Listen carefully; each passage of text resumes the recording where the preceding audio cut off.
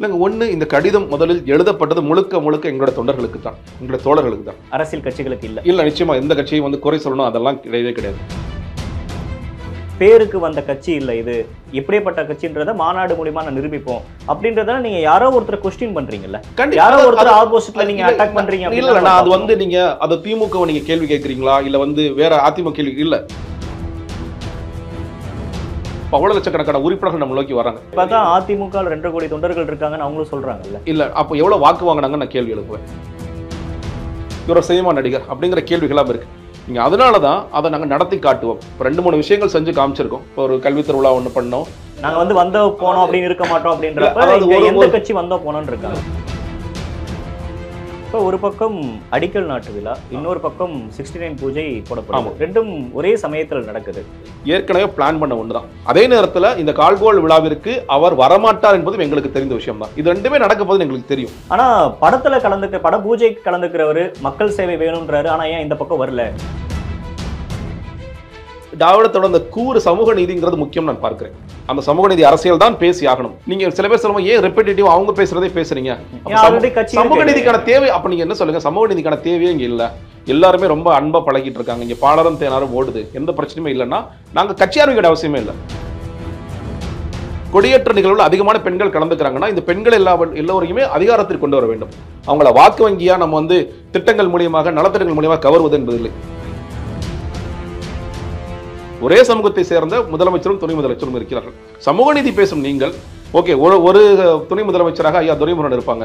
ஒரு துணை முதலமைச்சராக நீங்க வந்து கோவிசேலினே கூட வச்சுக்கலாமே கொண்டு வாங்க. அவர்களை தாண்டி பெண்களுடைய முகங்களே இங்க இல்ல. முழுக்க ஆண்கள் தான் இருக்கிறாங்க அந்த கூட்டங்கள்லே. விஜய் அவர்கள் மட்டும் செஞ்சிருவாரு அப்படின்னு நம்ம எதை வச்சு நம்ம சொல்றேன் நாங்க ப்ரூவ் பண்ணிருக்கோம்னு சொல்லி சொல்றேன் இல்லையா? நீங்க மாவட்ட செயலாளர்களாக நீங்க பெண்களை கொண்டு வராமல் அவர்கள் வந்து அமைச்சராக ஆக்க முடியவே முடியாது.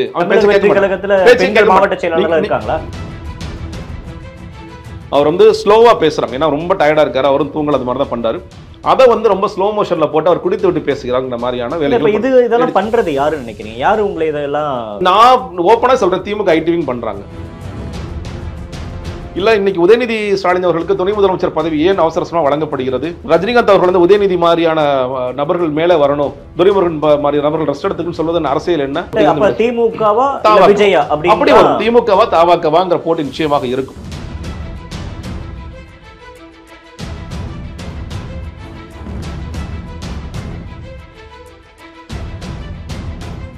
டி டிபேட் நேயர்களுக்கு வணக்கம். இன்றைய சிறப்பு நேர்காணலில் நம்மோடு இணைந்திருக்கிறார் தமிழக வெற்றி கழகத்தின் செய்தி தொடர்பாளர் ஜெகதீஸ்வரன் அவர்கள். சார் வணக்கம். வணக்கம். ரொம்ப தடைகளுக்கு அப்புறமா ஒரு அடிக்கல் நாட்டு விழா மாநாட்டுக்கு நேற்று நட்டிருக்கீங்க. எப்படி உணர்றீங்க இந்த தருணத்தை?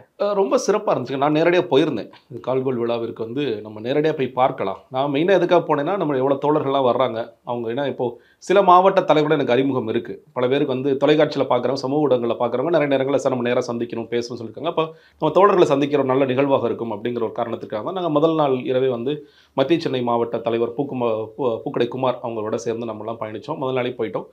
அதற்கு பிறகு காலையில் ஒரு மூன்றரை நாலு மணிக்கு என்னுடைய கிழக்கு மாவட்டத்திலேருந்து வந்த சில தோழர்கள் வந்து ஃபோன் பண்ணாங்க. பசங்க ஃபோன் பண்ணி சார் எப்போ எங்கே வந்துட்டுருக்கீங்கன்னு கேட்டாங்க. இப்போ என்னப்பா ஒரே சத்தமாக இருக்கே? அப்படிங்கும்போது சார் அவ்வளோ பேர் கூட்டம் நிற்கிறாங்க வண்டிகள் வந்துகிட்டே இருக்கிற ஒரு ஐநூறுக்கு மேற்பட்ட வண்டிகள் வந்துகிட்டு இருக்கு. நிறைய வண்டிகளால் உள்ளே வர முடியல. ரோட்டில் நின்றுட்டு இருக்கு. உள்ளே போன வண்டியில் வெளியே வெளியே வர முடியல. சார் பயங்கர கூட்டமாக இருக்குன்னாங்க. அது கால்கோல் விழா தானே நடக்குது இந்த மாநாடை நம்ம நடத்துகிறோம் அப்படின்னு சொல்லிட்டு அப்புறம் வெளியே வந்து ஒரு டீயில் பேசிட்டு இருக்கும்போது அவங்க அவங்க சொன்னாங்க சார் இது என்ன ஒரு மினி மாநாடு மாதிரி இப்போயே நடத்துறீங்க மாநாட்டுக்கு நம்ம எவ்வளோ பேர் வருவாங்க? அப்படிங்கிற மாதிரி. இதுல என்ன ஆச்சரியமான விஷயம்னா ஒரு மூன்றரை நாலு மணிக்கு கிட்டத்தட்ட ஒரு பதினையாயிரத்துலேருந்து இருபதாயிரம் பேர் வரைக்கும் இருப்பாங்க. வெவ்வேறு மாவட்ட வெவ்வேறு மாவட்டம் எல்லா மாவட்டங்களை சேர்ந்தவர்கள். ஏன்னா அப்புறம் கொஞ்சம் டைம் ஆக ஆக ஒவ்வொரு மாவட்டமாக வந்தாங்க. எனக்கு தெரிஞ்ச மாவட்டம் இப்போ மதுரை மாவட்டம் இப்போ விஜய் அன்பன் அவங்க தலைமையில் வந்தாங்க. கன்னியாகுமரி மாவட்டம் சிவா அண்ணன் அவங்க தலைமையில் வந்தாங்க. அதே மாதிரி கிழக்கு மாவட்டம் எங்கள் சென்னை கிழக்கு மாவட்டம் பாலமுருகன் அவங்க தலைமையில் வந்தாங்க. அதே மாதிரி புதுக்கோட்டை மாவட்டம் பர்வேஸ் அவங்க தலைமையில் ஏற்கனவே வந்திருந்தாங்க. இது மாதிரி எல்லா மாவட்டங்களும் அப்புறம் கோயம்புத்தூர் பேரெல்லாம் எனக்கு இன்னும் ரொம்ப பரிச்சயம் இல்லை. கோயம்புத்தூர் திருப்பூர் சேலம் இந்த மேற்கு மாவட்டங்கள் தென் மாவட்டங்கள் வட மாவட்டங்கள் எல்லா மாவட்டங்களிலும் எல்லா தலைவர்களும் ஒவ்வொருத்தரும் வெவ்வேறு நேரங்களில் கோயம்புத்தூர் மாவட்டம் நான் நைட்டு ஒன்பது மணிக்கு கிளம்புனேங்க. நான் வந்துட்டேன். மதுரை மாவட்டம் நைட்டு ஒம்பது மணிக்கு கிளம்புன வந்துட்டோம். நிறைய பேர் நைட்டு ட்ராவல் பண்ணி அப்படியே வந்திருக்காங்க. சில பேர் முந்தின முதல் நாளே தங்கி அந்த மாதிரி வந்திருந்தாங்க. எல்லா தோழர்களுக்குமே வந்து என்னென்னா அப்பா நமக்கான ஒரு மிகப்பெரிய ஒரு அரசியல் மாநாடு நடக்கப்போது அதற்கு நம்ம வெற்றிகரமாக ஒரு கால்கோல் விழா நீங்கள் நடந்துருச்சு அப்படிங்கிற ஒரு பெரிய பூரிப்பு இருந்தது. பொதுச்செயலர் வந்து எல்லா இடங்களுக்கும் போயிட்டே இருக்கார். இன்னும் தொடர்ச்சியாக போயிட்டு தான் இருக்கார். பயணப்பட்டே இருக்கார். அவர் சொன்ன விஷயம் இந்த கால்கோள் விழாவில் ஒரு ஒரு யாராருக்கெல்லாம் இறை நம்பிக்கை இருக்கோ அந்த இறை நம்பிக்கையோட போயிட்டு நீங்கள் எங்கள் உங்களுக்கு எது பிடித்தமான தெய்வம் பிடித்தமான கோயில் அங்கே போய் பூஜை செஞ்சு அந்த பூஜை ஜாமான் எடுத்துட்டு வாங்கன்னு சொல்லி சொல்லியிருந்தார். பட் அதுல அது தேவைன்னு நினைக்கிறீங்களா? ஒரு கடவுள் நம்பிக்கை அது மாதிரி விஷயங்களை கொண்டு வரணும் அப்படின்னு. ஏன்னா அரசியல் கட்சிகள் அப்படின்றப்ப மதத்துக்கு அப்பாற்பட்டு இருக்கணும் அப்படின்ற ஒரு நெரேட்டிவும் இருக்கு இல்லையா? நெரேட்டிவ் அதாங்க பிரச்சனை. இப்போ என்னன்னு கேட்டிங்கன்னா ஒரு இரட்டை வேடம் போடுகின்ற கட்சியாக தமிழக வெற்றி கழகம் இருக்கதை நான் பார்க்கல. இப்போ சில பேர் கேட்கும்போது என்னங்க நீ பெரியார் சிலைக்கும் மாலை போடுறீங்க. நீங்க வந்து சாமி நான் வந்து பெரியார் அவர்களை நாங்கள் வணங்குவது என்பது அவர் வந்து கடவுள் மறுப்பாளர் என்ற காரணத்திற்காக அல்ல. அதை தவிர்த்த மற்ற சமூக நீதி சம உரிமை சமதரம் இந்த கொள்கைகளுக்காகத்தான் நம்ம போகிறோம் தலைவர் வந்து அதுதான் போயிட்டு வந்தார். அன்னைக்கு ட்வீட்லேயே அதான் போட்டிருந்தார். அந்த அதற்காக தான் நம்ம நிற்கின்றோம். இங்கே வந்து இறை மறுப்பாளர்கள் ரொம்ப கம்மியான சதவீதம் இருக்காங்க. எல்லாருக்குமே இறை நம்பிக்கை இருக்குது அதனால் இதில் என்னென்னா இது வந்து ஒரு ஹிந்து இந்து கோயில்களுக்கு மட்டும் போங்க. இந்த ஆலயங்கள் மட்டும் போயிட்டு வாங்க தலைவர் சொல்லலை. பொதுச்செயலர் சொல்லலை. ரொம்ப தெளிவா யாராருக்கு எந்தெந்த தெய்வங்கள் விருப்பமோ போங்கண்ணா. நீங்கள் முதல்ல பார்த்துருக்கலாம் அந்த அந்த கால்கோள் விழாவில் முதல் முதலில் அந்த பூஜை செய்யப்பட்ட ஜாமான் என்பது நீங்கள் எங்களுடைய கொள்கை பரப்பு துணை செயலர் தஹிராக்கா அவங்க வந்து இஸ்லாமியர் அவர். அவர் போய் அந்த மசூதியில் துவா பண்ணதான் எடுத்துகிட்டு வந்து முதல்ல கொடுக்குறாங்க. அதுக்கப்புறம் தேவாலயங்களில் செய்த விஷயங்கள். இது எல்லாருக்கும் யாராவது நம்பிக்கை நம்பிக்கையே இல்லைன்னா நீங்கள் மாநாடுக்கு ஒன்றும் பிரச்சனை இல்லை. இறை நம்பிக்கை இல்லைன்னா நம்ம ஏற்றுக்க போகிறதெல்லாம் இல்லை அப்படிலாம் கிடையாது. நீங்களும் வாங்க அப்படிங்கிறத சொன்னது. இப்போ எல்லோரும் சேர்ந்து ஒரு முதல் விழாவாக ஒரு ஒரு திருவிழாவாக இதை துவக்குவோம். அப்படிங்கிற ஒரு நம்பிக்கையின் அடிப்படையில் இது செய்யப்பட்டது மட்டும்தான். ஸோ அதற்காக சொன்னாங்க. அதே மாதிரி எல்லாரும் கொண்டு வந்தாங்க. ஒரு ஒரு மணி நேரம் வந்து அதற்கான நிகழ்வுலாம் நடந்தது. அப்புறம் வந்து பந்தக்கால் நடப்பட்டது. நடுவதற்கு பின்னாடி வந்து எல்லாருமே என்னென்னா ஒரு அஞ்சு மணி ஆறு மணி ஏழு மணி கூட்டம் கலையவே இல்லை. அங்கேயே எல்லாம் சுற்றி சுற்றி வர்றாங்க. இந்த இடத்துல தான் மேடை வரப்போகுது இந்த இடத்துல பந்தல் வரப்போகுது இங்கே பார்க்கிங் செய்ய போகிறோம் அப்படின்ட்டு வந்துட்டு இருந்தாங்க. அந்த மாவட்டத்தை சேர்ந்த விக்கிரவாண்டி விழுப்புரம் மாவட்ட தலைவர்கள் பரணி பாலாஜி அவங்கெல்லாம் வந்து உணவு ஏற்பாடெல்லாம் நடந்துருந்துச்சு. எல்லா யார் வந்தாலும் உணவு கொடுக்குற மாதிரியான ஏற்பாடு. இது ஒரு ட்ரெய்லரா பாக்குறீங்க. அந்த கடிக்கல் நாட்டு விழாவே ஒரு ட்ரெய்லர் மாதிரி நடந்திருக்கு அப்படின்னு. அந்த இந்த வார்த்தை சரியான தெரியல. ஆனால் கிட்டத்தட்ட அது மாதிரி தான் இருந்துச்சு. ஏன்னா சில சில நேரம் விமர்சனங்கள்ல இது ட்ரைலரா டீசரா அப்படின்னு சொல்லி கேட்குறீங்க இது வந்து நம்ம நம்மளுடைய மாநாடு எவ்வாறு இருக்க போகிறது அப்படிங்கிறதுக்கு ஒரு உண்மையிலே ஒரு முன்னோட்டமாக தான். அடிக்கல் நாட்டு விழாவுல தலைவராக இருக்கக்கூடிய விஜய் அவர்கள் கலந்திருக்கலாம் அப்படின்ற மாதிரி விமர்சனங்களும் முன்வைக்கப்படுது இல்ல? இல்லைங்க. அதாவது எல்லோருக்குமே தெரியும் சொல்லப்போனால் எங்களுக்கு தெரியும் நிச்சயமாக தலைவர் இந்த விழாவிற்கு வரப்போறது கிடையாது அப்படிங்கிறது. ஏன்னா மாநாட்டிற்கு தான் அவர் முதல் முதலாக வரப்போகிறார் அப்படிங்கிற செய்தி எங்களுக்கு முன்னாடி சொல்லப்பட்டது. இந்த செய்தி சேனல்கள் சில பேர் கொஞ்சம் ஒரு ஆர்வ மிகுதியில் செய்த வேலைகள்னால ஒரு குழப்பம் ஏற்பட்டதுன்னு நினைக்கிறேன். முதல் நாளே வந்து சில செய்தி சேனல்களில் தலைவர் கலந்து கொள்கிறார்னு ஒரு செய்தி போட்டாங்க. அதற்கு பிறகு நாலு மணி நேரம் கழிச்சு அவர் வந்து இணையம் வழியாக கலந்து கொள்கின்றார். இணையம் வழியாகவும் கிடையாது நேரிலும் இணையம் வழியாக கலந்துக்கணும்னா அதுக்கு ஏதாவது செட்டப் நாங்கள் பண்ணிருக்கணும்ல. ஒரு பெரிய ஸ்க்ரீன் இருக்கணும் ஒரு வைஃபை செட்டப் பண்ணிருக்கணும் எந்த ஏற்பாடும் நாங்கள் செய்யலை. ஏன்னா எங்களுக்கு தெரியும் மீடியா வந்து தமிழக வெற்றி கழகத்தை ஒரு நரேட் பண்றாங்க தொடர்ந்து ஒரு அஜெண்டாவை செட் பண்றாங்க அப்படின்ற அந்த விமர்சனத்துக்கு அப்பாற்பட்டு பொதுவா வந்து ஒரு மாநாடு நடக்குது. பல்வேறு சிரமங்கள் கடையில நீங்களே வெவ்வேறு இடங்கள்ல கேட்டீங்க. அதற்கு நிறைய தடைகள் அது இன்னும் அதிகாரப்பூர்வமா யார் அந்த தடை பண்ணாங்க அப்படின்றது சொல்லல அப்படின்னா கூட ஓகே ஏதோ ஒரு அழுத்தங்கள் வருது. எல்லாத்தையும் தாண்டி இன்னைக்கு அந்த மாநாடு இருபத்தி ஏழாம் தேதி நடைபெற போகுது. ஒரு அடிக்கல் நாட்டு விழா அப்படின்றப்ப அதுல தலைவரா இருக்கக்கூடிய விஜய் அவர்கள் பங்கேற்று இருக்கலாம் அப்படின்ற அந்த பார்வை அப்படின்றது பொதுவா கட்சியோட தொண்டர்களுக்கே இருக்கும் தானே? இல்லைங்க இல்ல இல்ல. எதிர்பார்ப்பு என்பது எல்லோருக்குமே கண்டிப்பாக இருக்கும். ஆனா நீங்கள் இந்த இடத்தில் கிட்டத்தட்ட பொதுச் செயலாளர் அவர்கள் தான் எல்லா விஷயங்களையும் முன்னின்று நடத்துகின்றார். அவர் எல்லா ஊர்களுக்கும் போய் அழைப்பு எடுக்கிறாருன்னா அது அவரே பண்ணணும்னு சொல்வார் இது வந்து ஆனந்தாகிய நான் கொடுக்கும் அழைப்பு அல்ல. இது தளபதி அவர்கள் கொடுக்கின்ற அழைப்பு. நான் வந்து ரெப்ரசன்டேஷன் மட்டும்தான். எங்கள்கிட்ட அப்படி தான் சொல்லுவார் அவர். தம்பி இந்த கட்சி வந்து கட்சியில் முக்கியமான நபர் நான் நினைக்கிறேன்னு கேட்டிங்கன்னா ஆமாம் நாங்கள் சொன்ன கூட இது நான் கிடையாது.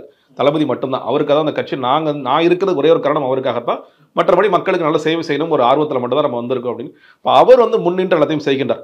இது ஒரு கால்கோல் விழா தான் இன்னும் சொல்லப்போனால் தலை முதல்ல போச்சல சொன்னது ஒவ்வொரு மாவட்டத்தில் முன்னாடி சொன்னேன் இல்லையா? தலைவர் மட்டும் வந்தால் போதும். எல்லோரும் வர வேணும்.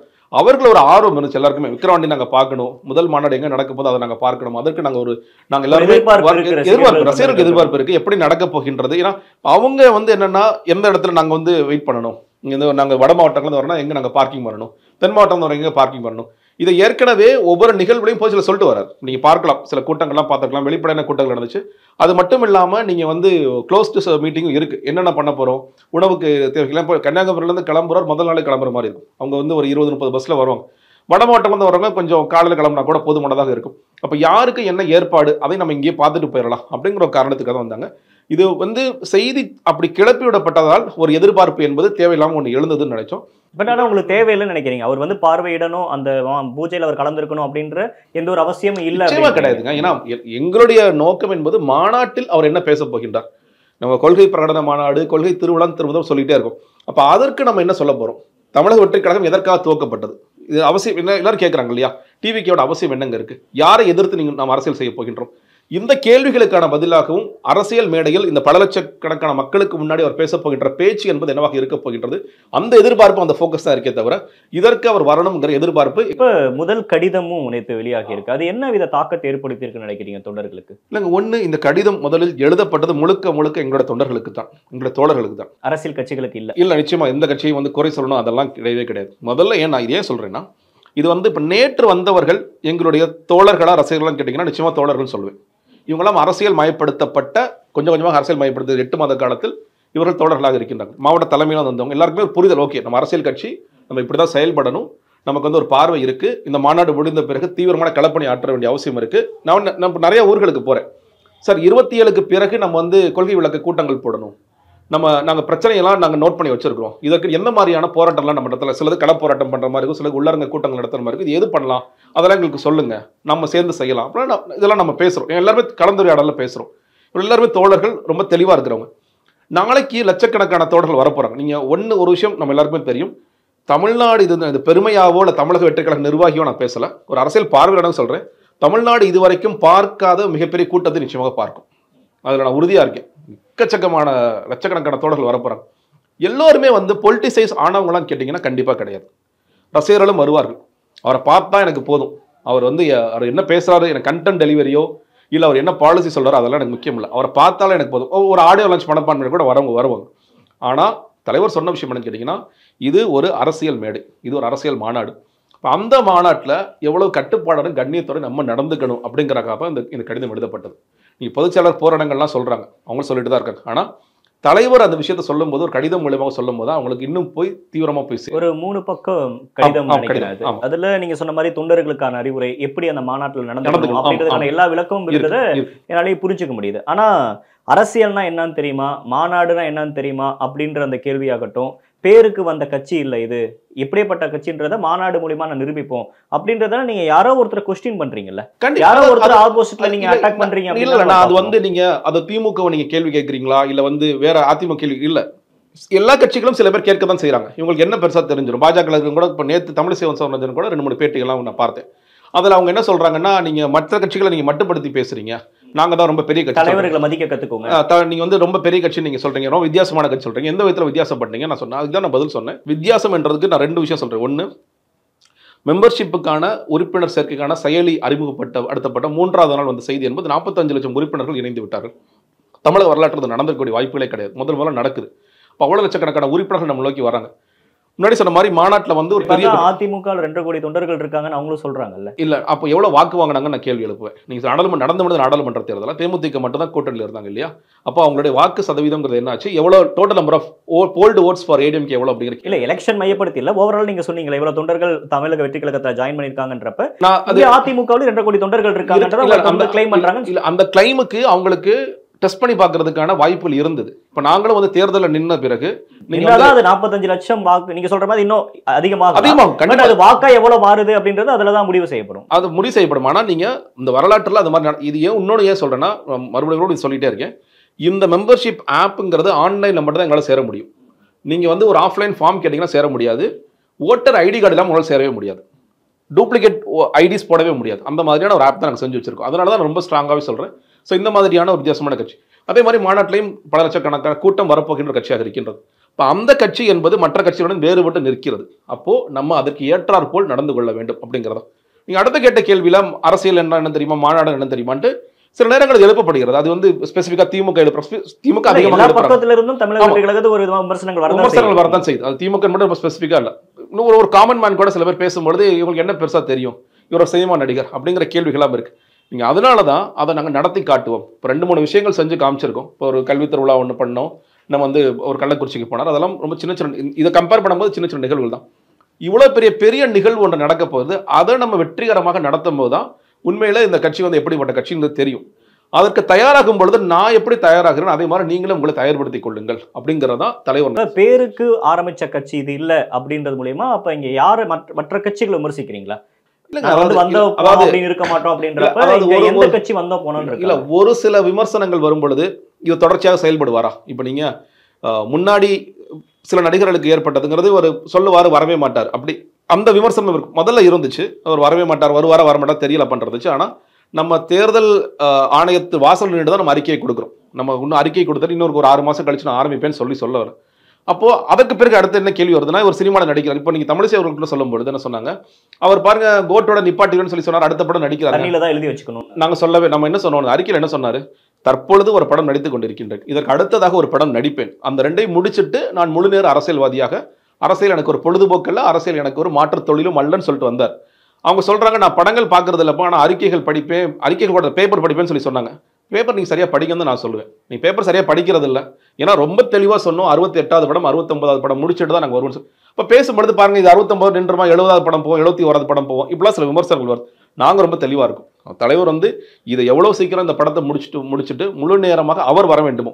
கட்சி வந்து முழு நேரமாக இன்னைக்கு வந்து செயல்பாட்டில் இருந்தாலும் செயல்பாட்டுக்கு வர வேண்டிய நேரம் என்பது மாநாடு முடிந்த பிறகு அடுத்த தினத்திலிருந்து இது வேகமாக பயணிக்க வேண்டும். அடுத்ததாக பொறுப்பாளர்கள் அதிகாரப்பூர்வமாக பொறுப்பாளர்கள் ஏற்கனவே தெரியும் பட் அதிகாரப்பூர்வம் பொறுப்பாளர்கள் நியமனம் இருக்கிறது. அதற்கு பிறகு ஒவ்வொரு மாவட்ட பிரச்சனைகளை எல்லாம் எடுத்து இவர்கள் கையாள வேண்டும் அதற்கு களப்பணி ஆற்ற வேண்டும் அப்படிங்கிறது அதை நோக்கி போறோம். அப்ப அதற்கு ஒரு பாதையாக இதை நம்ம சரியாக செய்யணும் அப்படிங்கிற மட்டும் தான் நோக்கம். படத்தில் நடிக்காம முழு நேர அரசியல் அப்படின்றப்ப. நிச்சயமா. நீங்க நீங்க அதான் இவர் வந்து முழு நேர அரசியல் என்பது இந்த படத்தை முடித்த பிறகு இல்ல அவங்க எதை குறிப்பிட்டு பேசுறாங்கன்னா ரெண்டாயிரத்தி இருபத்தி ஆறு தேர்தல்ல ரிசல்ட்டை பொறுத்து தான் விஜய் வந்து நடிப்பாரா நடிக்க மாட்டாரா அப்படின்ற அந்த புள்ளிக்கே வருவாருன்றாங்க. இல்லைங்க இப்போ அப்- அப்படி பார்த்தோம் ரெண்டாயிரத்தி இருபத்தி ஆறை டெஸ்ட் பண்ணி பார்க்கணும் அப்படின்னா ரெண்டாயிரத்தி இருபத்தஞ்சில் இன்னும் ரெண்டு படம் கூட கமிட் பண்ணிட்டு ஓகே நான் கொஞ்சம் கேப் எடுத்துட்டு வரேன் நான் ஒரு பிரேக் எடுத்துட்டு வரேன் கூட போகலாம் இன்னும் சொல்ல போனா நான் வந்து ஒருவேளை நான் முதலமைச்சரோ இல்லை ஒரு அமைச்சரோ இல்லை எம்எல்ஏ ஆனா கூட நான் படத்தை நிப்பாட்டிக்கிறேன்னு சொல்லி சொல்லலாம். வேலை செய்ய வேண்டிய அவசியம் அவருக்கு தெரியும். இந்த- களத்துல இறங்கி வேலை செய்யாம நம்ம வெற்றி பெற முடியுமானா வெற்றி பெற முடியாது. அவருக்கு திமுகவுடைய பலம் என்ன அதிமுக பலம் என்ன மற்ற கட்சியோட பலம் என்ன எல்லாவற்றையும் உணர்ந்த காரணத்தினால்தான் ஒரு முழு நேரமாக தலைவன் இங்கே இறங்காமல் நடக்காது. நீங்கள் அதே நேரத்தில் எல்லாரையும் முழு நேரமாக இறங்குன்னு சொல்லி சொல்கிறேன் நான் முழு நேரமாக இறங்கி ஆகணும். நான் வந்து பொருளாதாரத்தில் நல்ல நிலையில் இருக்கேன். நான் வந்து மக்களுக்காக சேவை செய்ய நான் வர்றேன் அப்படிங்கிற ஒரு முடிவோடு வருகிறார். அப்போ அது செய்யாமல் இது நடக்காதுங்கிறது தான் இப்போ இந்த படம் முடித்த பிறகு அவர் முழு நேரமாக இறங்குவது என்பது மக்கள் பிரச்சனைகள் எல்லாவற்றையும் அறிந்து நம்ம அதுக்கு பல நடைபயணங்கள் போக வேண்டிய அவசியம் இருக்கிறது. பல மண்டல மாநாடுகள் போட வேண்டிய அவசியம் இருக்கிறது. முன்னேற இறங்கும்போது இது இது வேற மாதிரி மாறிடும். இப்ப ஒரு பக்கம் அடிக்கல் நாட்டு விழா இன்னொரு பக்கம் சிக்ஸ்டி நைன் பூஜை போடப்படுது. ஆமா. ரெண்டும் ஒரே சமயத்துல நடக்குது. இதை எப்படி பாக்குறீங்க அது? இல்லைங்க அந்த பூஜை போடுவதுங்கிறது முன்னாடியே பிளான் பண்ணுது. இன்னும் சொல்லப்போனால் அவர் தலைவர் சொன்னது மாநாடு முடிந்த பிறகு அடுத்த படம் ஷூட்டிங் ஆரம்பிக்கலாம். ஏன்னா மாநாடு முடிஞ்சிருச்சுன்னா நீங்களாம் வேகமாக வேலை செய்ய ஆரம்பிச்சிருவீங்க. நான் அதை கண்காணிச்சுக்கிற ஒரு இடத்துல இடத்துல மட்டும் இருப்பேன்னு சொல்லி சொன்னார். இந்த தேதி என்பது நமக்கு செப்டம்பர் இருபது முடியலாம் அதுக்கப்புறம் திரும்ப அக்டோபர் இருபத்தி ஏழு நம்ம படத்தை ஆனால் ஒரு ஒரு ரொம்ப தெளிவாக இருக்கார். இந்த படத்தை எவ்வளோ விரைவாக முடிக்க வேண்டுமோ அவ்வளோ விரைவாக முடிக்க வேண்டும் சார் அப்போ நம்ம காலம் தாழ்த்த வேண்டிய அவசியம் இல்லை. நம்ம மாநாட்டுக்கு தயாராகிறதுங்கிறது நான் தயாராகிட்டு இருக்கேன் இந்த இந்த படத்தோட கண்டினியூஸாக இருக்கும்னு சொல்லிட முடியாது. ஒரு கேப் எடுத்துட்டு வரலாம். ஒரு வாரத்தில் ரெண்டு நாள் மூணு நாள் கேப் எடுத்துட்டு வரலாம். அந்த மாதிரி. ஏன்னா தொடர்ச்சியாக நீங்கள் செய்ய போகிற ஒவ்வொரு வேலையும் நான் கண்காணிச்சுட்டே இருக்கணும் அப்படிங்கிறதுலையும் ஒரு உறுதியாக இருக்கிறார். அப்போ நீங்கள் அதே நேரத்தில் இது இது வேகமாக முடிச்சுட்டு வரணும் அப்படிங்கிறதுல ஒரு உறுதியாக இருக்கிறார். அப்போ நம்ம காலம் தளர்த்த வேண்டிய அவசியம் இல்லை. நீங்கள் பூஜையை போட்டு ஸ்டார்ட் பண்ணிவிடுங்க மற்றவங்களோட டேட்ஸ் எல்லாத்தையும் பார்த்து நீங்கள் ஸ்டார்ட் பண்ணிடுங்க அப்படிங்கிற கதை. இது ஏற்கனவே பிளான் பண்ண ஒன்று தான் அதே நேரத்தில் இந்த கால்கோல் விழாவிற்கு அவர் வரமாட்டார் என்பதும் எங்களுக்கு தெரிந்த விஷயம் தான் இது ரெண்டுமே நடக்க போதுன்னு எங்களுக்கு தெரியும். இது இதுக்கு தான் போகிறார் பொதுவான ஒரு விமர்சனம் வரப்ப அவர் வந்து நீங்க சொல்ற மாதிரி இது அவர் கலந்துக்க மாட்டார் அடிக்கல் நாட்டு விழாவில் அதற்கான பாசிபிலிட்டி இல்ல அப்படின்றத நீங்க தெளிவுபடுத்திட்டீங்க. ஆனா படத்துல கலந்துக்க பட பூஜைக்கு கலந்துக்கிறவர் மக்கள் சேவை வேணும்ன்றாரு ஆனா ஏன் இந்த பக்கம் வரல? அரசியல் நோக்கி அவருக்கு வந்து இன்னும் அதுல முழு ஆர்வம் இல்ல முழு ஈடுபாடு இல்ல அப்படின்ற மாதிரி விமர்சனம் முன்வைக்கப்படுது. அதாங்க முழு ஈடுபாடு இல்லைன்னா நான் இன்னும் படத்தில் நான் நடிச்சுக்கிட்டே இருக்கேன். அரசியல் அரசியலையும் பார்த்துக்கிறேன். ரெட்ட ரெட்ட குதிரை ஓட்டிக்கிறேன். நான் ஒரு பக்கம் படம் நடிச்சுக்கிறேன். ஒரு பக்கம் வந்து அரசியலுக்கு வர்றேன் தேர்தல் அரசியல் போது நான் வந்து பிரேக் எடுத்துட்டு வரேன். அப்படி சொல்லியிருக்கலாமே. அப்படி சொல்லலை இல்லை. இன்னைக்கு நீங்கள் கோட்டோட வியாபாரம் என்னன்னு பார்த்துருக்கலாம். அடுத்த படத்தோட வியாபாரம் என்னவாக இருக்கும்? கடந்த ஐந்தாறு படங்களில் என்ன வியாபாரம் ஆகிட்டு இருக்குங்கிறத பார்க்கலாம். மினிமம் கேரண்டி இருக்கிற ஒரே ஹீரோ இவராக தான் இருக்கிறார். அப்படிப்பட்டவர் இல்லை எனக்கு எதுவுமே வேண்டாம். எனக்கு போதும். நான் வந்து மக்களை வந்து ஒரு என்டர்டைனராக எவ்வளோ மகிழ்விக்க முடியுமோ நான் பண்ணிட்டேன். இப்போ அரசியல் சேவைக்கு வரணும் என்டர்டெய்னராக இல்லாமல் நம்ம சேவைக்கு வந்து அந்த அதே விஷயத்தை செய்யணும்னு நினைக்கிறார். நீங்கள் அதுதான் படம் தான் முக்கியம். எனக்கு திரைத்துறை தான் முக்கியம் நினைச்ச ஒருத்தரால் நிச்சயமாக இந்த வார்த்தையை சொல்ல முடியல படம் எனக்கு போதும். ஒன் லாஸ்ட் டைம்னு ஒருத்தங்க போட்டு பண்ணுறாங்க அப்படின்னா அது ப்ரொமோஷனுக்காக பண்ண போகிற வேலை இல்லை. உண்மையிலே எமோஷனலாக ஓகே தான் அவரோட கடைசி படம் அப்படி சொல்கின்ற வேலை தான் நீங்கள் அதனால் ரொம்ப தெளிவாகவே இருக்கின்றார். இப்போ அதே நேரத்தில் நீங்கள் வந்து இந்த பூஜை என்பது இன்று துவக்கப்பட வேண்டும். அதனால நான் அதில் கலந்துக்கிறேன். இப்ப கொள்கையே அறிவிக்காத ஒரு கட்சியை தொடங்கின அதிசயம் வந்து விஜய் தான் பண்ணியிருக்காரு அப்படின்னு காங்கிரஸ் தரப்புல இருந்து விமர்சனம் வருது. பாஜகவும் நீங்க பெரியார் திடலுக்கு போடல இருந்து விமர்சனத்தை முன் வைக்கிறாங்க மூன்று பக்கத்துல இருந்து விமர்சனம் வரத எப்படி பாக்குறீங்க? இது கட்சியோட ஆரோக்கியம்னு பாக்குறீங்களா இல்ல செட்பேக்னு பாக்குறீங்க இல்லைங்க ஈவிகே சிலங்கோவன் வந்து அவர் கொள்கையே இல்லாமல் ஆரம்பிச்சிட்டோம்னு சொல்லி நாங்கள் என்றைக்குமே நாங்கள் எங்களோட கொள்கைகளை அறிவிக்க மாட்டோம்னு சொல்லி சொல்லலை. நாங்கள் அறிவிப்போம் அதற்கான இடம் என்பது முதல் நாள் தான் சொல்லுவோம் பிப்ரவரி இரண்டாம் தேதியில ஆனால் அதே நேரத்தில் எந்த பாதையில் பயணிப்போம் அல்லது எந்த பாதையில் பயணிக்க மாட்டோங்கிற தெளிவுபடுத்திட்டே இருக்கும். ரொம்ப ஓப்பனாக சொல்றேன் பாஜகவோ வலதுசாரி தன்மையை நம்ம எடுக்க போறது கிடையாது. அப்ப திராவிட அரசியல் தானே? அது அதான் சொல்றேன். அது திராவிடமா இல்ல என்னங்கிறத நீங்க கொஞ்சம் காத்திருக்கன்னு தான் சொல்றேன். நீங்க ரொம்ப காத்திருந்தீங்க ஏற்கனவே. இன்னும் கொஞ்ச நாட்கள் காத்திருக்குன்னு சொல்லி சொல்றோம். என்ன ஒவ்வொரு பிரச்சனையும் என்ன நிலைப்பாடு? நம்ம நீங்க திராவிட திராவிடத்தோட அந்த கூறு சமூக நீதிங்கிறது முக்கியம் நான் பார்க்கிறேன். அந்த சமூக நீதி அரசியல் தான் பேசி ஆகணும். சமூக நீதிக்கான தேவை இன்றும் இருக்கிறது நீங்க சில பேர் சொல்லுவோம் ஏன் ரெப்பிட்டேட்டிவ் அவங்க பேசுறதே பேசுறீங்க? சமூக-. நீதிக்கான தேவை அப்ப நீங்க என்ன சொல்லுங்க? சமூக நீதிக்கான தேவையே இங்க இல்ல. வேங்கவேல் பிரச்சனையோ பிர- திரௌபதி அம்மன் கோயில் பிரச்சனையோ இல்ல ஆணவ கொலைகள் இங்க எதுவுமே நடக்கல. எல்லாருமே ரொம்ப அன்பா பழகிட்டு இருக்காங்க. இங்க பாலாரம் தேனாரும் ஓடுது. எந்த பிரச்சனையுமே இல்லைன்னா நாங்க கட்சி ஆரம்பிக்கிற அவசியமே இல்லை. சமூக நீதிக்கான ஒரு பெயரளவு மட்டும் இல்லாமல் சமூக நீதிக்கான தேவை இருக்கிறது. பெண்களை அதிகாரப்படுத்துவதற்கான தேவை இருக்கிறது. இன்னைக்கு பெண்கள் அதிகாரம் குறித்து பேசுகின்ற திமுகவும் அதிகவும் அதிமுகவும் உண்மையிலே பெண்களை அதிகாரப்படுத்துகிறார்கள் என்றால் இல்லை. இப்போ எங்கள் கட்சியில் நீங்கள் பார்த்துருக்கலாம். நீங்கள் வந்து முதல் அஞ்சு பேரில் நம்ம பேர் அறிவிக்கிறோன்னா அதில் இம்ரான் தஹீர் அவங்களோட பேர் அறிவிக்கிறோன்னா அதில் ஒரு சமூக நிதி பார்வை இருக்குது இஸ்லாமியராக இருக்கின்றார் ஒரு பெண்ணாக இருக்கின்றார். கொடியேற்ற நிகழ்வில் அதிகமான பெண்கள் கலந்துக்கிறாங்கன்னா இந்த பெண்கள் எல்லா எல்லோரையுமே அதிகாரத்திற்கு கொண்டு வர வேண்டும். அவங்கள வாக்கு வங்கியாக நம்ம வந்து திட்டங்கள் மூலியமாக நலத்திட்டங்கள் மூலியமாக கவர்வது என்பதில்லை. அதிகாரத்திற்கு கொண்டு வர வேண்டும் ரொம்ப முனைப்பு கட்டுறார். நீங்கள் அவரோட பர்சனல் சாய்ஸ் அது. அவங்க இம்ரான் தகீர் அக்கா வந்து அவங்களே சொல்லும் போது அக்கா அவங்களை யாருக்கா செலக்ட் பண்ணாங்க? வேலூர் மட்ட தலைவியாக இருந்தாங்க யாருக்கு அவங்களை செலக்ட் பண்ணாங்க? தலைவருடைய தலைவரே சொன்னார் இவங்களை இந்த பொறுப்புக்கு போடுங்கன்னு சொல்லி சொல்கிறார் அப்போ பெண்களை அதிகாரப்படுத்த வேண்டும் என்ற உண்மையான ஒரு சமூக நீதி பார்வையோடு வருகிறார். அதற்கான தேவை இருக்கிறதுன்னு சொல்லும் போது அதை நம்ம பேசிதாகணும். இந்த கூறுகள்லாம் முக்கியம். இந்த சமதர்மம் இந்த சுயமரியாதை இந்த பகுத்தறிவு. அதே நேரத்தில் இந்த சமூக நீதியோ இந்த கூறுகளை இன்றைய திராவிட கட்சிகள் பின்பற்றுகிறார்கள் கேள்வி நமக்கு இருக்கு. நீங்கள் வந்து பகுத்தறிவு பேசுகிறோம் சுயமரியாதை பேசுகிறோம் சுயமரியாதை இயக்கம்னு சொல்லி சொல்கிறோம் இன்னைக்கு வந்து சமூக நீதினு சொல்லி பேசுறோம். இன்னைக்கு முதலமைச்சரும் துணை முதலமைச்சரும் ஒரே சமூகத்தை சேர் அது ஸ்டாலின் உதயநிதி ஸ்டாலின்ங்கிறதை விட்டுறேன். ஒரே சமூகத்தை சேர்ந்த முதலமைச்சரும் துணை முதலமைச்சரும் இருக்கிறார்கள். சமூக நீதி உண்மையிலே பேசுறவங்களா இருந்திருந்தாங்கன்னா ஓகே நம்ம வந்து இப்போ தலித்தில் நாலு அமைச்சர்கள் ஆக்கிறோம் ஒரு துணை முதலமைச்சர் ஆக்கியிருக்கலாமே யார் அவங்கள குறை சொல்ல போறா? ஒரு மூன்று துணை முதலமைச்சர் தான் ஏதாவது பிரச்சனையா? கான்ஸ்டியூஷனல் போஸ்டே கிடையாது. ஒரு அடையாளத்துக்கு தான் நீங்க பண்றீங்க. அவர் என்னோட வாரிசு இதுன்னு நீங்க அறிவிச்சிட்டீங்க. ஓகே அது உங்களோட கட்சி பிரச்சனை கூட விட்டுறோம். சமூக நீதி பேசும் நீங்கள் ஓகே ஒரு ஒரு துணை முதலமைச்சராக ஐயா துரைமுருகன் இருப்பாங்க. ஒரு துணை முதலமைச்சராக நீங்க வந்து கோவிசேலினே கூட வச்சுக்கலாமே கொண்டு வாங்க. ஒரு கொறடா இருந்தார் அதுல வந்து துணை முதலமைச்சர் ஆக்குறேன். இல்ல இந்த விமர்சனம் எல்லாம் திமுகவுக்கு மட்டும் நோக்கி கேக்குறீங்களா? இல்ல ஒட்டுமொத்த திராவிட கட்சிகள் எல்லா கட்சியிலும் அதிமுக எல்லா கட்சியிலும் சேர்த்து? தான் கேட்கறேன் நீங்க வந்து சொல்றீங்களா நீங்க சமூக நீதினு சொல்லி சொல்றீங்களா ஒண்ணு இல்ல இப்போ அதிமுக மேடைகள்ல எத்தனை பெண்கள் இருக்கிறாங்க? நீங்க இந்த பக்கமே பாருங்களேன் கோகுலேந்திரா இருக்காங்க அமைச்சர் வளர்மதி முன்னாள் அமைச்சர் கோகுலேந்திரா வளர்மதி இருக்காங்க. அவர்களை தாண்டி பெண்களுடைய முகங்களே இங்க இல்ல. முழுக்க ஆண்கள் தான் இருக்கிறாங்க அந்த கூட்டங்கள்லே. ஒரு காலத்தில் ஜெயலலிதா அவர்கள் தலைமை தாங்கி நடத்திய கட்சி அது. அப்போ பெண்களை அதிகாரப்படுத்துவதில் இந்த திராவிட கட்சிகள் தோல்வி அடைந்துள்ளார்களா நிச்சயமாக தோல்வி அடைந்துள்ளார்கள் திமுகவில் பார்த்தீங்கன்னா வாரிசுகளிலிருந்து வராங்க. சார் அது கூட ஓகே பரவாயில்ல. கனிமொழி வர்றாங்க த தமிழச்சி வர்றாங்க அப்படிங்கிறதெல்லாம் ஓகே தான். அதை தாண்டி பெண்களுக்கு அதிகாரம் நீங்கள் கொடுக்கிறீர்களா என்று கேட்டால் இல்லை. ஆனால் நாங்கள் கொடுப்போம் நான் உறுதியாக சொல்றேன். ஏன்னா தலைவருக்கு அந்த பார்வை இருக்கிறது பெண்களை அதிகாரத்தில் கொண்டு வர வேண்டும்ங்கிற பார்வை இருக்கிறது. அப்ப அதற்கான தேவை தலைவர்கள்ட்ட நீங்க போய் பேசுறப்பயோ இல்ல ஆஃப் த ரெக்கார்ட் பேசுறப்பயோ அவங்க சொல்றதுதான் பெண்கள் அதிகாரத்தை நோக்கி வரணும். அதுக்காக தான் நாங்க எல்லா திட்டங்களும் கொண்டு வரோம் அப்படின்னு அவங்க பேசுவாங்க. பட் ஆனா நடைமுறைன்னு வரப்ப தானே இதோட சிக்கல் என்ன அப்படின்றது புரியுது. அது விஜய் அவர்கள் மட்டும் செஞ்சிருவாரு அப்படின்னு நம்ம எதை வச்சு நம்ம இல்ல இல்ல அதான் guarantee சொல்றேன் கொடுக்குறோம்? சி- நான் நாங்க ப்ரூவ் பண்ணிருக்கோம்னு சொல்லி சொல்றேன் இல்லையா? இப்போ நீங்க இல்ல, ஆட்சிக்கு எந்த- வரல நம்ம இல்ல இல்ல சொல்- இல்ல இல்ல நீங்க கட்சியில இதை கொண்டு வாங்க நான் சொ- நீங்க கட்சியில கொண்டு வராம ஆட்சிக்கு வரவே வராதுங்க. நீங்க மாவட்ட செயலாளர்களாக நீங்க பெண்களை கொண்டு வராமல் அவர்கள் வந்து அமைச்சராக ஆக்க முடியவே முடியாது. இருங்க நீ இப்போ அதிகாரப்பூர்வம் நாங்கள் அறிவிக்கவே இல்லை. நீங்க மார்ச் எட்டாம் தேதி மகளிர் தலைமையிலான ஒரு உறுப்பினர் சேர்க்கை அணி போட்டோமா? யாஸ்மின் அவங்க அவங்க மகளிர் தலை ஏன் மகளிர் தலைமையிலான அணி போடணும்?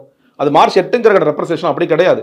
பெண்கள் தலைமையிலான எக்ஸ்க்ளூசிவான டீம் இருக்கட்டும் அவங்க வந்து இந்த உறுப்பினர் சேர்க்கை முகாம்களை நடத்தட்டும். அவங்க எல்லா மாவட்டத்தில் இருக்கிற மாவட்ட தலைவரோட எந்த கட்சியிலும் நடக்காத ஒன்று தான் ஏன் பெண்களை பொண்ணும் ஆண்களோட தலைமையிலே போட்டிருக்கலாம்ல? அப்போ நாங்கள் எல்லாவற்றிலும் அதை கொண்டு வருகின்றோம். நாங்கள் கட்சி ரீதியாக அதை முதல்ல செய்யணும். கட்சி ரீதியாக நீங்கள் செய்யாமல் நீங்கள் நேரடியாக ஆட்சிக்கு ஒரு அமைச்சராக ஆக்கினீங்கன்னா ஆக்கவே முடியாது. அவன் பேச்சே கேட்க மாட்டான்.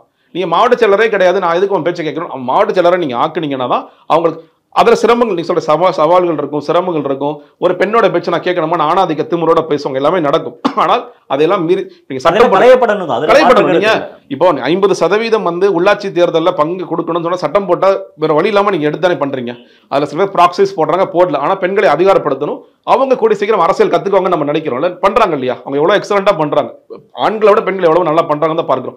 அப்ப அதை நீங்க கட்சி ரீதியா கொண்டு வரணும்ல. நீங்க முப்பத்தி மூணு சதவீத இடஒதுக்கீடு சட்டம் சொல்வது என்ன? பத்து வருஷம் கழிச்சு இந்த சட்டத்துக்கான தேவை இருக்கக்கூடாதுன்னு அந்த சட்டம் சொல்லுது. அதுக்கு அர்த்தம் என்ன? நீயே தெரிஞ்சிருங்குது நீங்க தெரிஞ்சுங்களா இல்ல. ஆனா கிரெடிட் மட்டும் எடுத்துக்கிறீங்க. நாங்க தான் அது காரணம் நாங்க தான் காரணம். உங்க கட்சியில செய்- இப்ப சீமான் செய்யறாரு இல்லையா? ஐம்பது சதவீதமே கொடுக்குறாருல பெண்களுக்கு. அந்த மா- அதுல ஐம்பது இல்ல முப்பத்தி மூணு கொடுக்கல உங்களுக்கு என்ன பிரச்சனை நான் கேட்கிறேன் நான். அது செய்யுங்கன்னு சொல்றேன். இப்போ ஓவராலா இந்த ரெண்டு திராவிட கட்சிகளை நோக்கி தான் அவங்களுடைய அரசியல் இருக்க போகுதா. அவங்களை எதிர்த்து தான் அரசியல் இருக்க போகுதா? இல்லைங்க நம்ம ஒரு பார்வை என்பது நம்ம முதன்மை சக்தியாக வர வேண்டும். ஒரு பிரைமரி ஃபோர்ஸா இந்த மண்ணில் எஸ்டாப்ளிஷ் ஆகணும். அதுக்கு வந்து மக்கள் சக்தியோடு சேர்ந்து நம்ம செய்யணும். அதுக்கு வந்து எல்லா பிரச்சனைகளும் நாம கையில் எடுக்க வேண்டும்ங்கிறதான் பார்வை. நீ முதன்மை சக்தியாக ஆயிட்டீங்கன்னா தேர்தல் அரசியலை வெற்றி பெறுவது என்பது சுலபமான ஒன்றாக தான் இருக்கும் ஆட்சி அதிகாரத்தை நோக்கி போகுது. நீங்க ஆனால் பேசக்கூடிய அரசியல் என்பது யூஸ்வலாகவே ஆன்டி எஸ்டாப்ளிஷ்மெண்ட் தான் வரும். இப்போ நாளைக்கு நம்ம ஒரு அறிக்கை கொடுக்க போறோம் ஒரு பிரச்சனைக்கான நிலைப்பாடு எடுக்க போகிறோம்னா அது மோஸ்ட்லி வந்து கண்டிப்பாக திமுகவையும் பாஜகவும் எதிர்த்து தான் இருக்கும். மத்தியில் ஆள்கின்ற பாஜகவையும் மாநிலத்தில் ஆள்கின்ற திமுக தான் இருக்கும். அப்போ நீங்கள் அ- திமுக அதிமுக நமக்கான ஒரு எதிரி சக்திகளாக இருப்பார்கள் என்றால் ஆமாம் அப்படித்தான் இருப்பார்கள். அதுக்காக மற்றவர்கள் நேர் சக்தியாக கேட்டால் இல்லை. நீங்கள் சில விஷயங்களில் நீங்கள் பிரச்சனையின் அடிப்படையில் ஒன்று கூட வேண்டிய அவசியம் இருக்கும். நான் அந்த விசிக மாநாடு சொல்கிறேன் மது ஒழிப்பு மாநாட்டில் நீங்கள் திமுக விட்டுட்டு மற்ற எல்லா கட்சியிலும் மேடையில் ஏற்றிருக்கணும்னு நான் எதிர்பார்த்தேன். அப்படி பண்ணியிருந்தீங்கன்னா உண்மையிலே வந்து ஒரு பேசுபொருளாக மாறி இருக்கும் தமிழக வெற்றி கழகத்திற்கு அழைப்பு வந்துருந்துச்சுன்னா கலந்துருப்பீங்களா? இல்லை அழைப்பு வரல இல்லை நான் சொல்ல எல்லாத்துக்கும் அழை- நீ- மட்டும் கிடையாதுங்க. நீங்கள் அதிமுக கூட்டணியில் இருக்கிற இன்னும் சொல்ல போனா பாஜக கூட்டணியில் இருக்கிற எல்லாவற்றும் பாமக முதற்கொண்டு நீங்கள் எல்லாவற்ற எல்லாரையும் கூப்பிட்டு நீங்கள் அந்த மேடையை நீங்கள் அமைச்சிருந்தீங்கன்னா இது உண்மையிலே மிகப்பெரிய திமுக விட்டுட்டு திமுக விட்டுட்டு வந்து செஞ்சிருந்தீங்கன்னா ஒரு மிகப்பெரிய பேசுபொருளாக மாறி இருக்கும் ஆனால் நீங்கள் என்ன பண்ணிட்டீங்க? நேரடியாக போய் திமுகவில் ரெண்டு பேர் வர்றாங்க அப்படின்னு சொல்லி ஏற்றுக்கிட்ட பிறகு அந்த மாநாடு ஃபெயிலியர் மாநாடு தானே? யாரை எதிர்த்து நீங்கள் மது மது ஒழிப்பு யாரை எதிர்த்து பண்ணுறீங்க அந்த மதுவுக்கு முக்கிய முக்கியமான காரணமாக திமுக மதிமுக ரொம்ப காலமாக இருந்திருக்காங்க. அப்போ அவங்கள எதிர்த்து இன்னைக்கு பண்ணுறீங்க பாருங்க திருமணம் என்ன பேசுகிறார் இதற்கெல்லாம் எப்படி ஸ்டாலின் காரியமாவார்? எப்படி இதுக்கெல்லாம் காரணமாவார்? இதெல்லாம் வந்து எம்ஜிஆர் கொண்டது ஜெயலலிதா கொண்டது அப்படின்னு சொல்லி சொல்கிறார் இது எவ்வளோ நகைப்புக்குரிய பேச்சு. இப்போ அதை செஞ்சிருக்கணும். அந்த மாதிரி பிரச்சனைகளின் அடிப்படையில் ஒன்று சேர வேண்டிய அவசியம் இருந்தால் ஒன்று சேரலாம். ஆனால் கூட்டணியா கூட்டணி இல்லையா என்பதெல்லாம் ரெண்டாயிரத்தி இருபத்தி ஆறில் தலைவர் அந்த நம்ம நம்ம ஒரு டார்கெட் ஃபிக்ஸ் பண்ணிருக்கோம் இல்லையா? பிரைமரி ஃபோர்ஸ் ஆகிறதுக்கு இத்தனை உறுப்பினர்கள் உருவாக வேண்டும். இந்த கட்டமைப்புகள் பலமாக இருக்க வேண்டும். அதெல்லாம் பார்த்த பிறகு அவர் முடிவு செய்து கொள்வார். சமீப காலமாக பொதுச் செயலாளர் அவர்களுடைய செயல்பாடுகள் குறிப்பாக ஒரு தொண்டர்கள்கிட்ட தொண்டர்கள்ட்ட பேசுறதாகட்டும் அது வந்து வீடியோவாக வெளியே வரதாகட்டும் இது எல்லாமே விமர்சனத்துக்கு உள்ளாகிட்டே இருக்குது நீங்கள் வந்து வேலை இருபத்தி ஏழாம் தேதி என்ன கேட்டாலும் நீங்கள் வந்துருங்க வேலையை விட்டுட்டு கூட வந்துடுங்க அப்படின்ற மாதிரி பேசுறதெல்லாம் விருதுமாத தமிழக வெற்றி கழகத்துக்கு ஒரு பின்னடைவா பார்க்கலையா நீங்க? இல்லைங்க ஒன்று அந்த வீடியோ அதுக்கு பிறகு முழுமையான வீடியோ என்னங்கிறது வந்துச்சு. அந்த வீடியோவில் கூட அவர் என்ன சொல்றாருன்னா தலைவர் எப்பொழுதுமே சொல்லுவது நீங்கள் முதலில் குடும்பத்தை பாருங்க. குடும்பத்தை பார்த்த பிறகு பொருளாதார தண்ணீர் அடைந்த பிறகு ஒரு சதவீதம் இரண்டு சதவீதம் நீங்கள் மக்களுக்காக செலவழிங்க மக்கள் சமூக இயக்கத்துக்காக செலவழிங்கன்னு சொல்லி சொல்லுதான் ஆனால் ஒரு ஒரு இன்ஸ்பயர் பண்ணுறக்காக ஒரு சின்ன ஸ்டோரி சொல்றாரு. அந்த தோழர் வந்து ஒரு நிறுவனத்தில் வேலை செய்கிறாரு அவர் நிறுவனத்தில் வேலை செய்யும் போது அவர் முதலாளிட்ட லீவ் கேட்குறாரு ஐயா எனக்கு வந்து இருபத்தி ஏழாம் தேதி மாநாடு. அவன் முதலாளி என்ன சொல்றாரு? எங்க தீபாவளி டைம் ஒரு லீவ் எல்லாம் கொடுக்க மாட்டேன். உனக்கு அப்புறம் போனஸும் கொடுக்க மாட்டேன்னு சொல்லி சொல்றாரு. அப்பெல்லாம் கிடையாது. நான் வந்து தலைவரை பக்கம் தான் போனேன். அதுதான் எனக்கு முக்கியம். இப்படிப்பட்ட தோழர்களுக்கு நம்ம என்னதான் அறிவுரை சொன்னால் கூட தலைவரை பார்க்கணுங்கிற ஒரு ஆர்வத்துல இந்த மாதிரியான நபர்களும் வரத்தான் செய்கிறார்கள். அப்படிப்பட்ட ஒரு கட்சி இது. இதுதான் அவர் சொல்ல வந்த விஷயம். ஆனா என்ன அப்படின்னாலும் அந்த மேற்கோள் தப்பு தானே எப்படி சொன்னது தப்பு தானே அப்படி இத்தனை பேர் இல்ல. பாசங்கள் இருந்தாலும் இவ்வளவு அன்புகள் இருக்கு இவ்வளவு. லாயல்ட்டியா இருக்காங்க அப்படின்னு எல்லாமே அதனாலதான் அவர் முதல்ல. சொல் இல்ல ஆனா முதல்ல- அந்த மேற்கோள் சரி இல்ல நினைக்கிறேன் அதான் நீங்க அதனால தான் முதல்லயே அவர் சொல்லிட்டாரு. தலைவரோட கட்டளை என்பது இதுதான். நீங்க வந்து எப்பொழுதுமே குடும்பத்தை பாருங்க. அதற்கு பிறகு ஒரு சதவீதம் இரண்டு சதவீதம் நீங்க கொடுங்க. அதற்கு பிறகுதான் நீங்க வச்சுக்கணும். ஆனா இப்படியும் இருக்கிறார்கள். அவர் ஒரு இன்ஸ்பயர் பண்ணலாம் அப்படிங்கிற ஒரு ஒரு நோக்கத்தில் மட்டும் தான் சொன்னார். இது வேலையை விட்டுட்டு வாங்க. இன்னும் சொல்ல போனால் அந்த இரண்டு நாட்களுக்கு தான் சொன்னார். அதுக்கு பிறகு மொத்தமாக வேலையை விட்டு வந்தால் கூட நான் உன்னை பார்த்துக்குவேன். தமிழக வெற்றிகளை உன்னை காப்பாற்றுவோம் தலைவர் உன்னை காப்பாற்றுவார் அப்படிலாம் எதுவுமே சொல்லல. இப்படிப்பட்ட தோழர்களும் இருக்கிறாங்க அப்படின்னு ஒரு இன்ஸ்பிரேஷன் ஸ்டோரியாக சொன்னார். அதான் அங்கே இருக்கவங்களுக்கு உற்சாகமாக இருந்தது. அது மட்டும்தான்.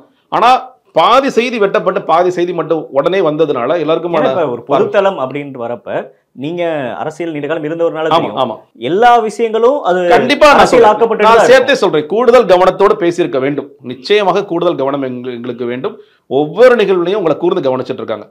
நீங்க ஏன்னா இப்ப விஜய்- நடிகர் விஜய் அவர்களுடைய தொண்டர்கள் யாரும் வந்து ரொம்ப உயர் வசதியில இருக்கக்கூடிய ஆட்கள் கண்டிப்பா எல்லா சாமானிய மக்கள் தான் பத்தாயிரத்தி ஐநூறு ரூபாய்க்கோ இருபதாயிரம் ரூபாய்க்கோ ஏதோ ஒரு இடத்துல வேலை. பார்த்துட்டு இருக்கிறவங்க தான். அவங்க எல்லாரும் தான் இருபத்தி ஏழாம் தேதி நடக்கக்கூடிய அந்த மாநாட்டுக்கு வந்து உங்களுக்கு வலு சேர்க்க போறாங்க.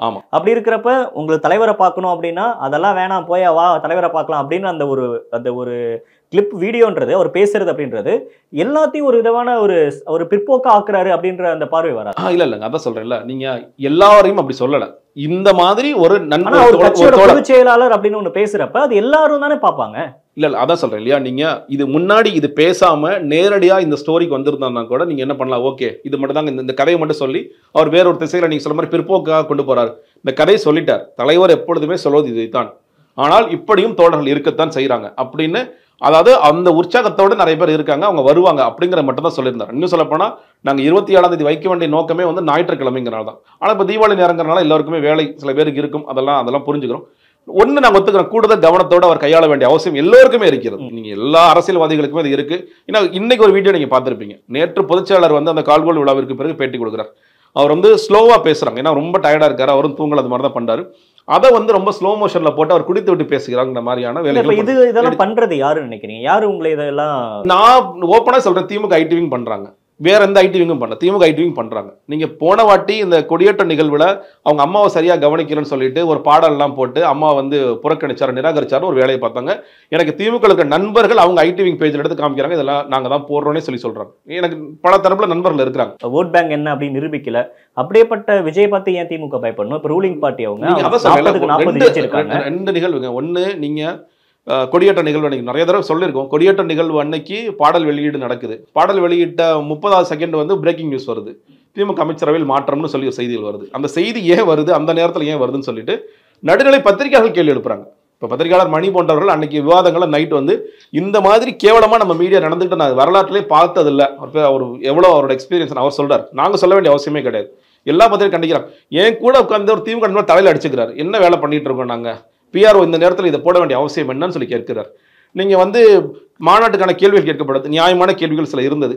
ஆண்கள் எத்தனை பேர் வருவார்கள் பெண்கள் எத்தனை பேர் வருவார்கள் குழந்தைகள் எத்தனை பேர் வருவார்கள்ங்கிற கேள்வி நீங்கள் சமீபத்தில் நடந்த விசிகா மாநாட்டிற்கோ இல்லை திமுக பவள விழாவிற்கோ இல்லை முன்னர் நடந்த ஏதாவது ஒரு மாநாட்டு கேட்கப்பட்டுள்ளதுன்னு சொல்லுங்கள் எனக்கு உங்களுக்கு மாநாடு நடத்த தெரியல நானே ஒத்துக்கிறேன். ஆமாங்க நமக்கு தான் தெரியாமல் கேட்குறோம். யாருக்குமே கேட்கப்படாத கேள்விகள் கேட்கப்படுகின்றன. இதன் நோக்கம் என்ன? யாரெல்லாம் தலைவர்கள் வருவார்கள்? ஓகே. நீங்க தலைவர்கள் தேசிய தலைவர் யாராவது வர்றாங்கன்னா நிச்சயமா நான் உங்கள்கிட்ட தான் சொல்ல போறோம். நீங்க தான் பர்மிஷன் நீங்க தான் வந்து அவங்களுக்கான பாதுகாப்பு கொடுக்க போறீங்க. நான் பர்சனல் பாதுகாப்புலாம் கொடுக்க போறது கிடையாது. இது அவசர அவசரமாக தெரிந்து கொள்ள வேண்டிய அவசியம் என்ன? ஓ இந்தியா கூட்டணியில் யாராவது போயிடுறாங்களா? இல்ல வேற கூட்டணியில் யாராவது வர்றாங்களா? இதை தெரிந்து கொள்ள வேண்டிய நோக்கமும் அவசியமும் இப்ப இல்லை நிகழ்ச்சி விஜயை பார்த்து பயப்படுறாங்க நிச்சயமா பயப்படுறாங்க. நீங்க ஒண்ணு இல்லைங்க அதான் சொல்ல இந்த உறுப்பினர் சேர்க்கையை அவர்கள் அவர்களுக்கு தெரியும். இந்த உறுப்பினர் எவ்வளவு பேர் சேர்ந்துட்டு இருக்காங்க. நீங்க பெண்களுக்கான மகளிருக்கு அந்த கல்லூரி செல்லும் பெண்களுக்கு ஆயிரம் ரூபாய் பணம் கொடுக்குறாங்க. புதுமை பெண் திட்டம். வரவேற்கக்கூடிய திட்டம். தமிழ் புதல்வன் திட்டம் எப்போ வந்துச்சு? நல்லா யோசிச்சு பாருங்க. இல்ல இந்த திராவிட போட்டிகள் நிறைய வைக்கிறாங்க. டார்கெட் பண்றது யாருன்னு காலேஜ் ஸ்டூடெண்ட்ஸையும் ஸ்கூல் ஸ்டூடெண்ட்ஸையும் டார்கெட் பண்ணி வைக்கிறாங்க. இது எப்போ இருந்து நடக்குது? இது போன வருஷம் ஏதாவது ஒரு போட்டி நடந்திருக்கும். இப்ப கடந்த எட்டு மாசத்துல சில பேர் சொல்றாங்க சார் நாலு போட்டி நடந்துருச்சு. திராவிட போட்டிகள் சொல்லி வைக்கிறாங்க. துரிதப்படுத்துறாங்க. துரிதப்படுத்துறாங்க. யாருக்காக நீங்க செய்றீங்க இதை? அவர்களுக்கு தெரியும் இல்ல இன்னைக்கு உதயநிதி ஸ்டாலின் அவர்களுக்கு துணை முதலமைச்சர் பதவி ஏன் அவசர அவசரமா வழங்கப்படுகிறது? ரஜினிகாந்த் அவர்கள் வந்து உதயநிதி மாதிரியான நபர்கள் மேலே வரணும். துரைமுருகன் மாதிரியான நபர்கள் ரெஸ்ட் எடுத்துக்கணும்னு சொல்வதன் அரசியல் என்ன? இது எல்லாவற்றிற்கும் பின்னாடி நிறைய இளைஞர்கள் இந்த பக்கம் ரெண்டாயிரத்தி இருபத்தி ஆறு உதயநிதி அது கிடையாது. இல்ல அந்த நெரேட்டிவ் வந்து கேட்பதற்கு நல்லா இருக்கு. அது வந்து நெரேட்டிவ் வந்துட்டே இருக்கு. ஆனா இதற்கு நான் முன்னாடி சொல்லிட்டேன். இதற்கான பதில வந்து முதலமைச்சர் தான் சொல்லணும். முதலமைச்சர் அந்த ரேஸ் விட்டு நான் விலகுறேன். நான் முதலமைச்சர் போட்டி திமுகவா அப்படி வரும். தாவாக்கவாங்கிற போட்டி நிச்சயமாக இருக்கும். நாங்க திமுகவை எதிர்த்து நாங்க அர- அரசியல் செய்ய போறோம்னா திமுகவா தாவாக்கவான்னு இருக்கும். திமுக ஒருவேளை இல்ல முதலமைச்சர் நான் ஓய்வெடுக்க போகின்றேன். உதயநிதி ஸ்டாலின் தான் வரப்போகிறார் என்று சொன்னால் அதை நீங்க சொல்ற மாதிரி அந்த நெரேட்டிவ் செட் ஆகும். பட் இன்னைக்கு வந்து நம்ம குறிப்பாக இந்த இளைஞர்களை கவர வேண்டும் என்ற திட்டங்கள் போடுவதன் எல்லா நோக்கமும் நம்மளை பார்த்து பயப்படுறாங்க பதட்டப்படுறாங்க. அதான் நான் பார்ப்பேன். இன்னும் இந்த மாநாட்டிற்கு பிறகு இது இன்னும் கூடுதலாகத்தான் மாறுமே தவிர இது குறைவதற்கான வாய்ப்பு இல்லை. இறுதியா ஒரு கேள்வி மாநாட்டுக்கு எத்தனை பேர் எதிர்பார்க்கறீங்க? நான் நான் ரொம்ப நம்பர்ஸ்குள்ள போக விரும்பலங்க. ஆனா தமிழகம் இது வரைக்கும் பார்க்காத அளவிற்கு மிக பிரம்மாண்டமான ஒரு கூட்டம் வரும். மூன்றுல இருந்து நாலு லட்சம் வச்சுக்கலாமா? வரும். தாராளமா வரும். அது கூடுதல் கூடுதலுமே தவிர குறைய கூட வாய்ப்பு இல்லை. நிறைய விஷயங்கள் பகிர்ந்துக்கிட்டீங்க நேரம் கொடுத்தமே நன்றி. தேங்க்யூ